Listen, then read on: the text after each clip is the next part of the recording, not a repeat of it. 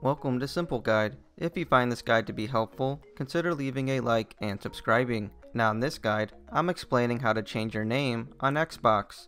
If you came here for how to change your gamer tag or how to hide your name, I have videos for that pinned in the comment section. Now to change your name on Xbox, you will need to open up the guide menu by pressing the Xbox button in the center of your controller, then go to settings.